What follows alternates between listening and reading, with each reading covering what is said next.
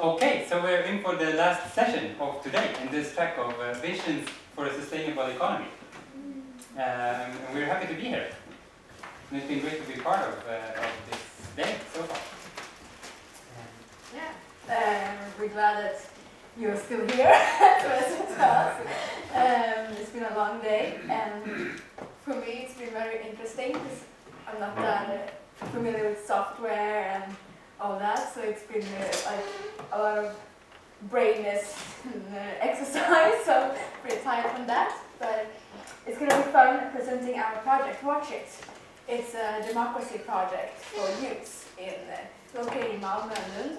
Uh, but uh, now we don't have any financial uh, project fin- funds uh, from uh, arvsfonden. That's a national fund foundation for projects uh, with youth. But we are nowadays uh, cooperative uh, with activists and uh, pedagogues.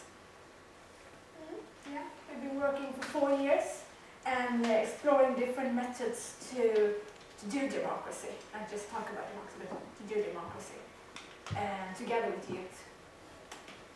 Mm. Hmm? And, and who are we? Who- Who, are you? Yeah, I always ask me myself that question. Um, it's it's kind of hard. Um, um, I'm a researcher. I'm an activist, human rights activist, asylum activist, women rights activist. Yeah, kind of everything that needs to be done in this world. And uh, and I'm a pedagogue and a process uh, uh, leader as well in a project uh, Watch It, but also another project called Tifon that works with uh, unaccompanied uh, minors and uh, political um, participation. Hmm? And my name is August, and I'm, I would also define myself maybe in a bit the same way as you. It's maybe a bit uh, confusing to myself. Who am I? But, but I'm, I have the role as a pedagogue working at the Global folk high school in Malmö.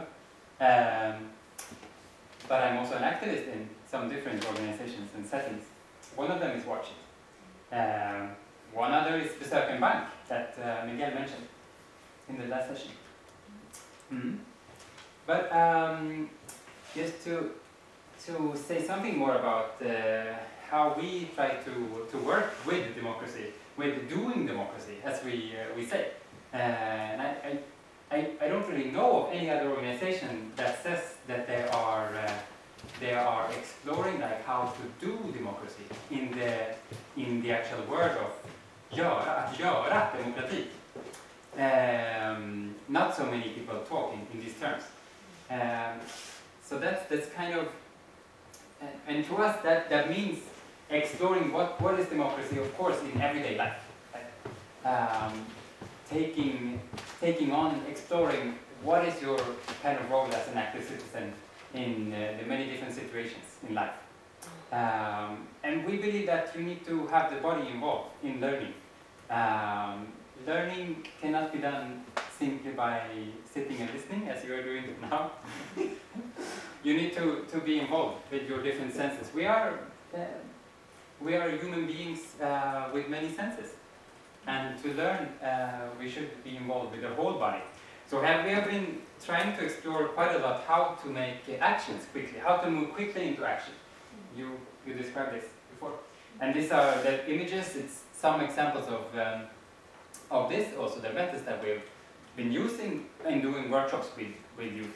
And we've been doing um, probably a few, I don't know, hundreds of, no, maybe not hundreds, but, but it, there's been a lot of workshops, okay? Especially in Malmö and Lund. Uh, so I've been trying this out with youth, uh, like moving quickly into, from idea to action. Moving out into the street and expressing your, your voice, or sending video messages to politicians, or different, different ways. But to warm up in some kind of way, just to, to not be afraid to do more things and to do to be in a secure uh, room with people you kind of know, to try different ways to express yourselves, and then maybe later on you will be able to go out and do stuff where you don't know anyone, or to try these things.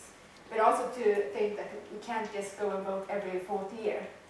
It's democracies in this group, and you know, our family, how to work with democracy in, in small um, scales and in big scales. Mhm. So yes, so one parallel process for us all the time in this um, ongoing exploring for the last four years has been also how, how should we work together in our in our uh, project group. Uh, and this we translated this spring into a few different workshops that we that we've been carrying out quite a lot with with adults rather than youth actually. And one called the internal democracy, one called idea to action, and one called democratic leadership. So we have been trying to, influence uh, also pedagogues a lot in, in how can you uh, take these concepts, ideas into the classroom, for example, or into uh, the fritidsgård where you are working. Um, mm. Um, and this is one of the tools. We have also been trying to, we- we're, we're not just like going to the street and try something out. We also, we also try to conceptualize a bit. So we use, for example, this ladder of participation that is well known, um, but with a special graphical design. yeah. Um,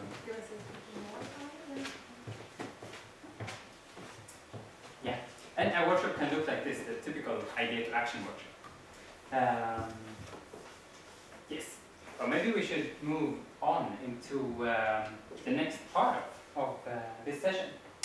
What Mhm. we usually do. Yeah. Yeah. Because of course, as I mentioned, learning and, and um, getting into action is of course uh, about getting involved. so we would like to to uh, invite you also now to um, to talk and work a little bit together with us. Um, and um, it's been it's been a long day. Some of you have been part throughout the whole day. Some of you have been to this uh, in this room taking part in different sessions or presenting as well. Uh, some of you have been to the other lectures.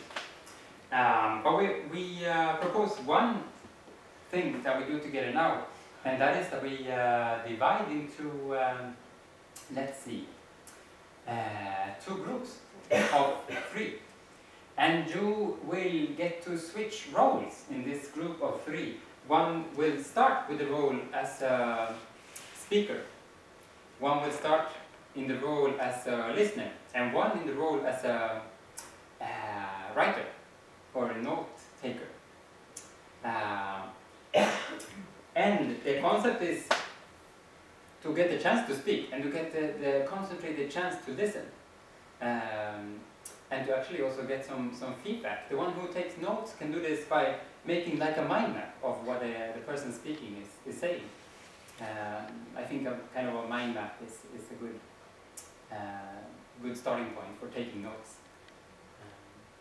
Um, And these notes will later be given to the person that was speaking, so they can take it with them. Yeah. mhm.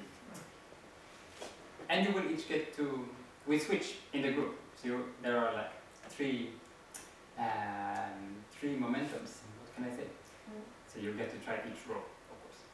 Um, yes, but what should we talk about? Yeah.